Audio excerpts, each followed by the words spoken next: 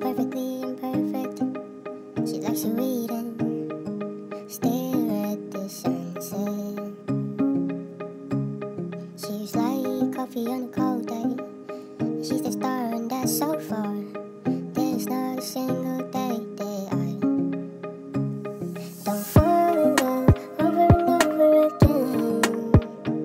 But I hate that we are not meant to be.